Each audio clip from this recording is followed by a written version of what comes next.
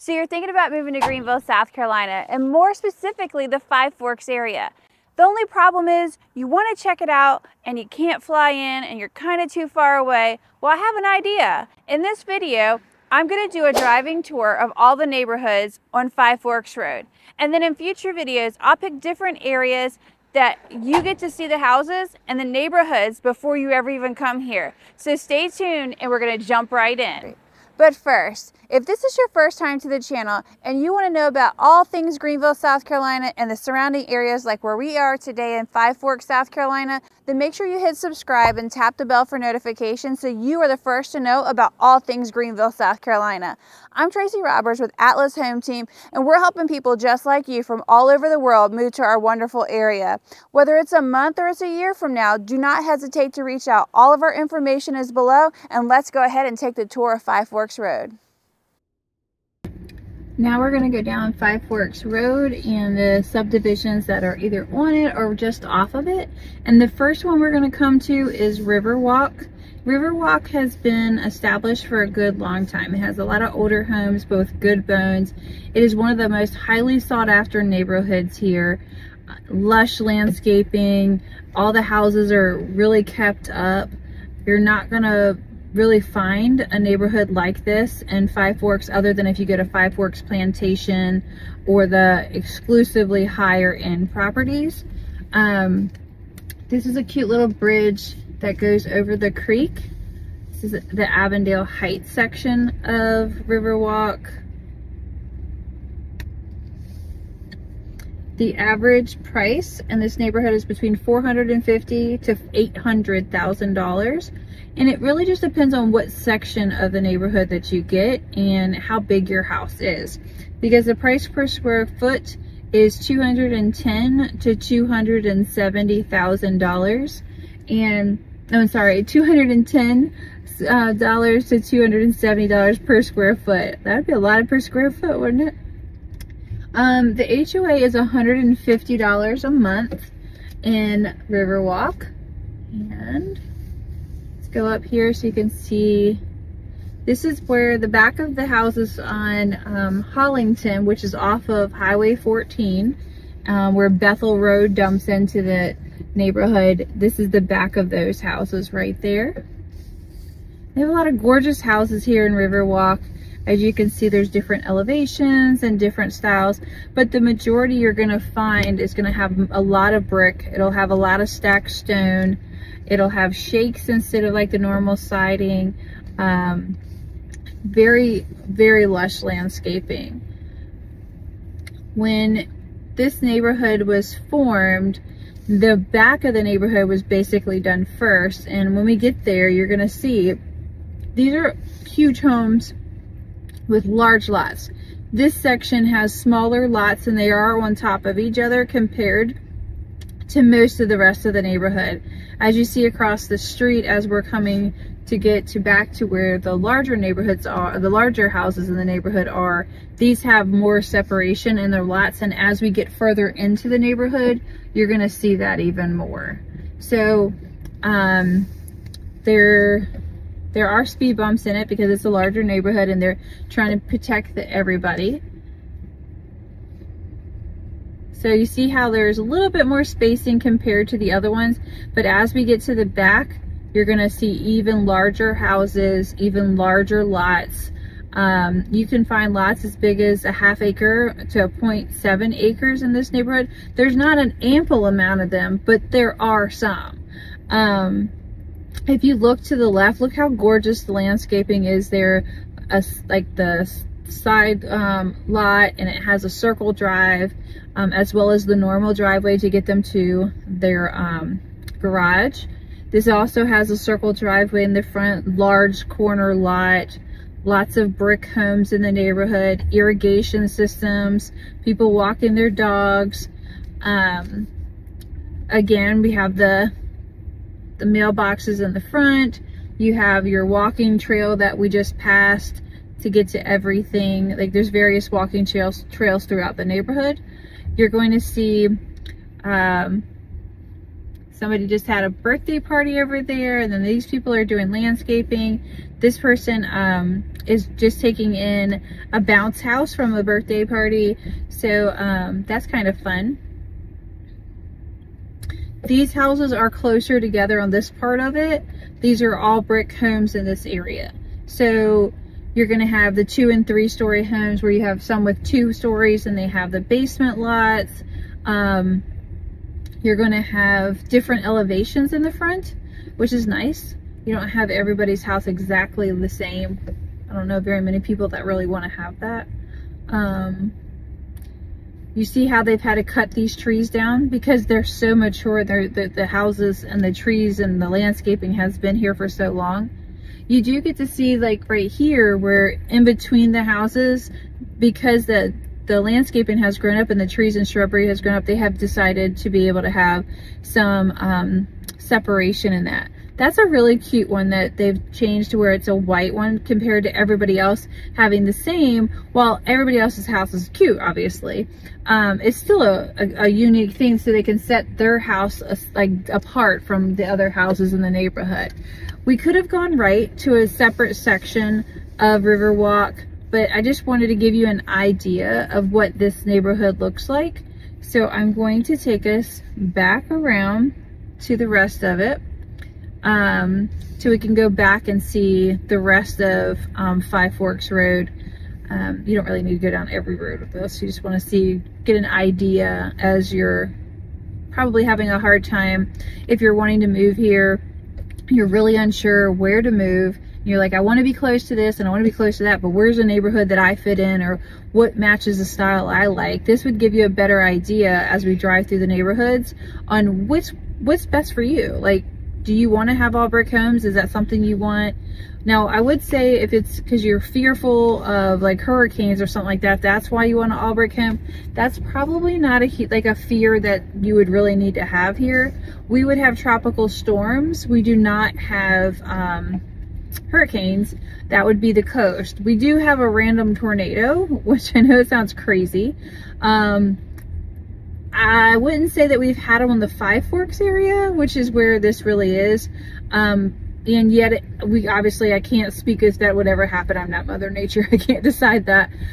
And yet, in the other side of Simpsonville, there has been a tornado hit, and it has um, hit the school and um, various houses and things like that. And now, just in all, like, transparency, it wasn't like where it took out a whole city or anything like that. It took out, it landed and it popped up.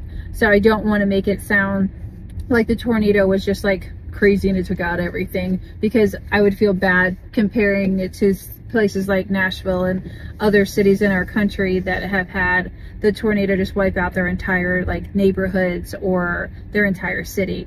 Um, that wouldn't be a very fair comparison and it'd be devalue on what they went through. Definitely not the same thing and we still feel for those people. Um, as we come out the neighborhood, you'll see on the right, they did extra landscaping. The stacked rock stone looks amazing. There's lots of walking trails. The river, the little creek that runs through it, the it's so tranquil. Um, I personally think this is a beautiful neighborhood. And obviously other people do too. The houses in here, no matter if it's a hot market or it's a stale market, um, they go very fast. They do not last long. In a stale market, maybe three to four days. In a hot market, they're going in hours across the way is um, for, it's a elder, elderly care center um, where the exact name for it is senior care center. It's where um, you go if you need more than assisted living and it's it's called a senior living community exactly the way that they say it um, at the end of this road is an assisted living where they have their own apartments inside of it and then they have assistance when they need it. That's more of a long-term care that's not like that. It's a little above that. Um, it's great to have both so close together and um, yeah. So on the left hand side which is blocked that's uh, boxwood subdivision that is not on um, five forks. We will do a tour of that but it's more of a fort highway 14 neighborhood. On the left or the right I can go onto Stonehaven so we're to go to the one on the left and no reason, I just picked it. Um, you saw the sign right there. It said that there was a Stonehaven um, Stingrays. Well, the Stone Haven Stingrays are the swim team for one side of the Stonehaven. So Stonehaven has two separate HOAs. Um, not that you pay two HOAs. If you're in one section of Stonehaven, you're going to have one HOA and you have one pool and you have one um, different uh, amenities and things like that that you can use. If you're in the other section of it, you're going to have the other um, amenities that you can use and then you're going to have the other HOA. Very confusing and yet we can navigate you through it. If for some reason you do some research and you're like, okay, I want to be, I want my children to be in this particular uh, swim team, we want to use this particular pool or we want to use these tennis courts for pickleball or whatever we want to use it for, and you want to make sure that the houses that you're choosing have that, we're going to check that for you. We're not going to make you go through all that alone. I promise we got you. Because it can get confusing, especially when you're that far away. Um, there are walking trails here as well. You can see there.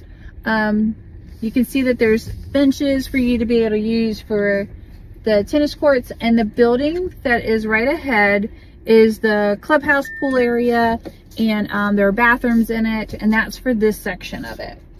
These houses are definitely older. They have been here, I want to say about 25 years. Um, about 25 years, a little bit older. They range in price from 495,000 to 750,000. Again, that's going to range on the size of the house it's going to range on the amenities in it, like the upgrades that you've done or that has been done or haven't been done. If it has um, stack stone, what type of upgrades, like their fence has um, like wire fencing as well as brick. Well, most of the time it's not an appraisal for that, but the seller did have to spend that money, so they're going to want some of that recoup that they're getting back. Sorry for jostling you around, um, but that's what I had to do to make sure you saw the pool area. Um, the average square foot is 190 to $220 per square foot. And the HOA is um, $450, which is pretty phenomenal. Now, I would venture to think that if your child is on the swim team, it's not going to be included in the HOA. You're going to have to pay that extra, which is fair. Um, so if you see that majority of these properties are going to be brick, um, you're going to have like maybe like on this one right here on the side, if you did or across the way, you're going to see that it does have some siding and it may have a little bit of the porch that doesn't obviously have brick on it. But for the most part, this neighborhood is going to do brick, all brick. Um, if you also see a majority, if not all, I'd say like 95% of these properties have sidecar entry garages. So that's kind of cool. Now, at times that may not be cool. So if you look at their driveways, their driveways don't have a lot of a turnout next to that two-car garage. That's a side entry.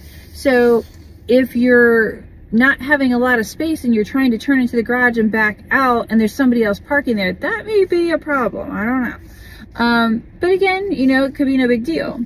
This one's nice. It has um, the circle driveway in the front as well as it has um, the sidecar entry garage. So that's pretty nice to have both. These are large homes. They um, are a well-established neighborhood. They have lots of community events. There probably isn't a holiday that there isn't something going on.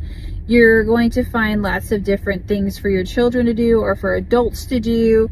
It's just an active community and and that's on both sides of it this one's really cool that they've already painted this one and that the HOA is shifting to allowing them to go from the all the same color to where that they have brick homes which is going to revitalize the neighborhood the house on the left did have more stacked stone and it had siding on it so that must have been built at the end phase of them being built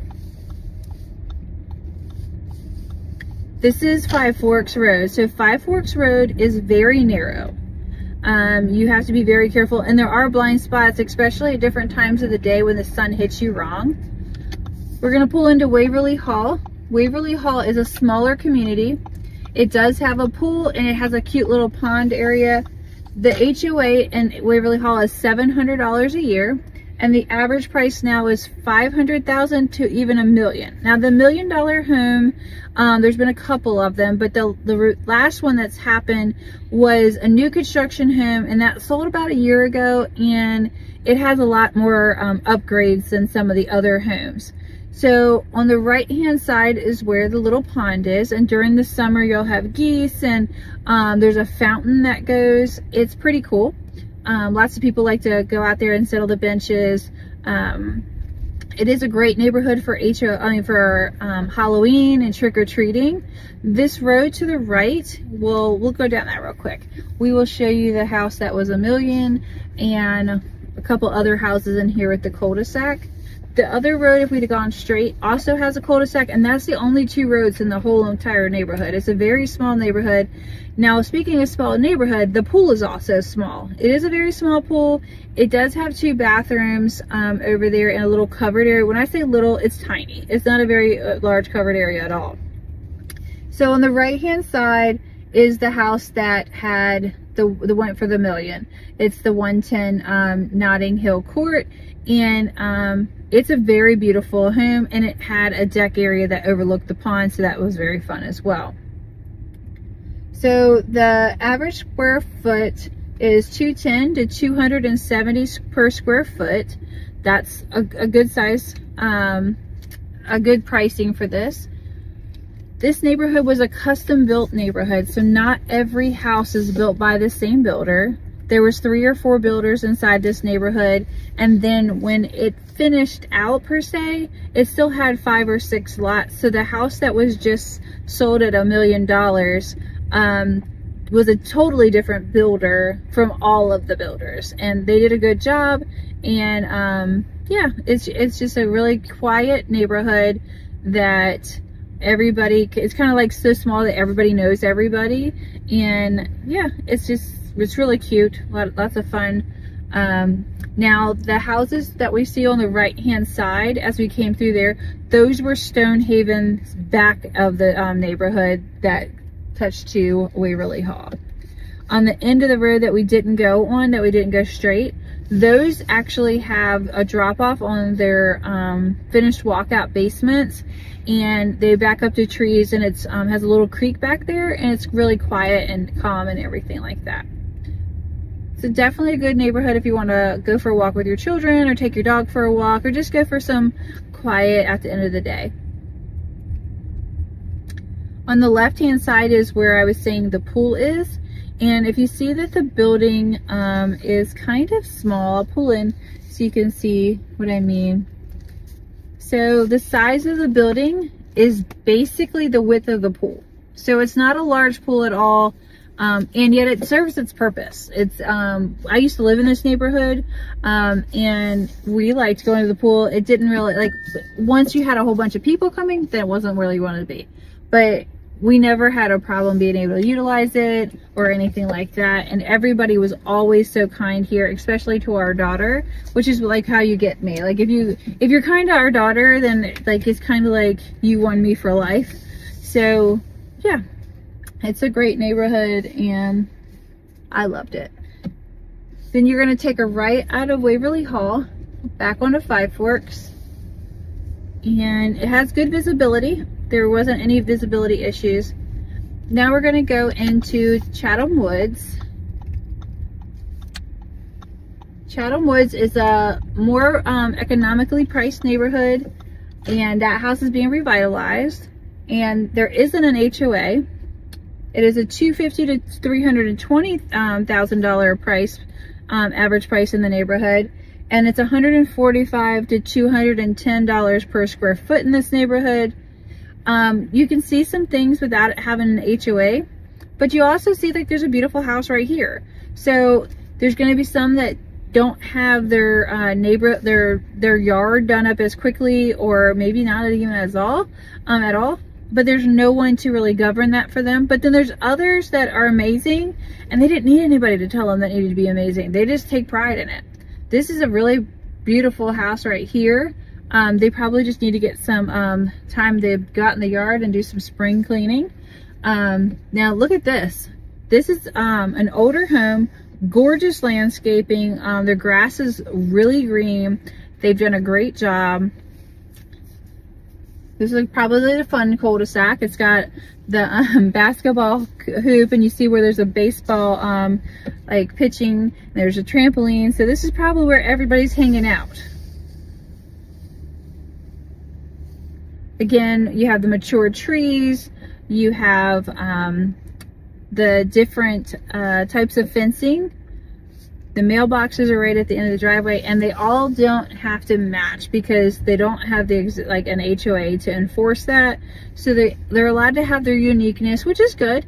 Um, a lot of people don't want to have an HOA because they don't want somebody to tell them what they can and can't do. And they want to have their uniqueness for various reasons. Or they want to have their RV um, to be able to load their RV, which I can't even understand why you wouldn't want to have that. If you own an RV and you wouldn't want to have it to where you could load it before you go on a trip. Or say you have a boat that you don't want to store your boat or even if you do want to store your boat at your house but if you don't and you just wanted to load your boat and not have an HOA upset with you about it, I can see why an HOA would be more of a hassle than it was worth to you. So we're gonna go right back onto Five Forks. Let's get you down a little further. You can tell that we're just beginning our spring because some of our stuff's green and then the foliage hasn't really kicked in yet. Um, this is usually gorgeous green. There's tons and tons of flowers. On the left-hand side, they did an amazing job building out that.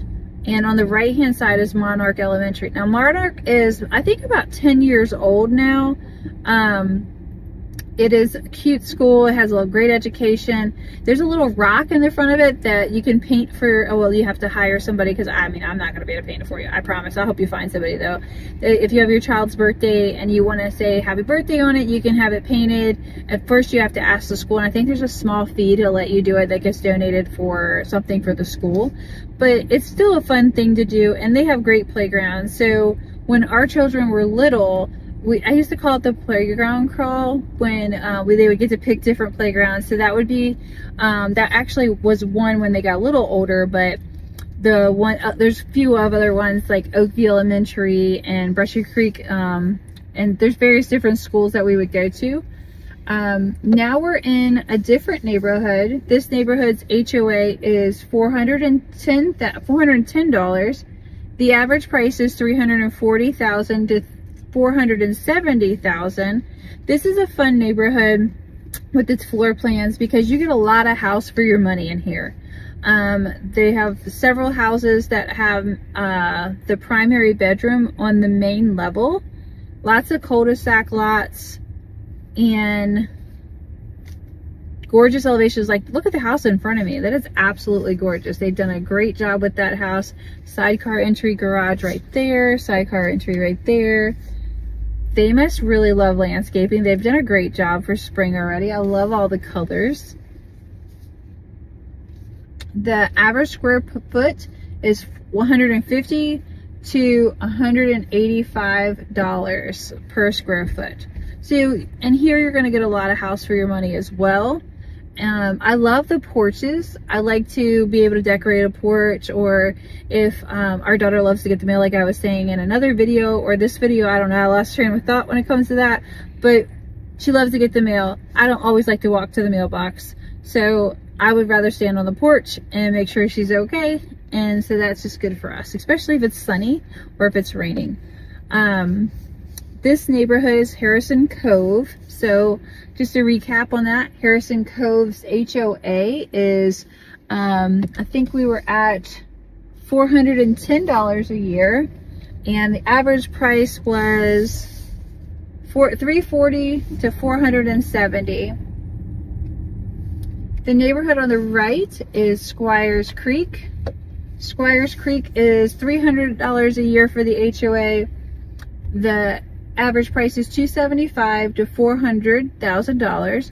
These are older homes with good bones and the average per square foot is 120 to 165 um, per square feet. Obviously, it depends on the upgrades and the amenities that you put inside the home. Now, this neighborhood is not as strict. If you notice that there was um, some uh, pressure washing needed on some houses, they don't have as harsh of a guideline on what happens if you don't. Um, and, but there are gorgeous homes in here. Like, look at that pristine white house. Like, they're taking great care of it. The, this one here is. The majority of the houses in this neighborhood are going to take care of it. So like on the one that we saw that needed some love, there may be a reason. Or they may have said, okay, over winter, we're not going to touch it. Which is smart. And they may just said, okay, well, we need to get somebody out there. When we get them out there, we'll do our yard at the same time. Um, so you just never know why people do what they do and you just got to respect it and let people live, right? Um, and you'll see various things like where they had a long drop on their, um, their front yard. They put it to where it wouldn't flood by doing different stacked stairs. Like there was the bricks and then there was the mulch. So they, they've, they've thought about a lot of things. This house is really cute over here with the wraparound porch and the lush greenery. Yep. So this is Squires Creek and I'm going to kind of do a three-point turn so we can go back and finish out Five Forks Road real quick.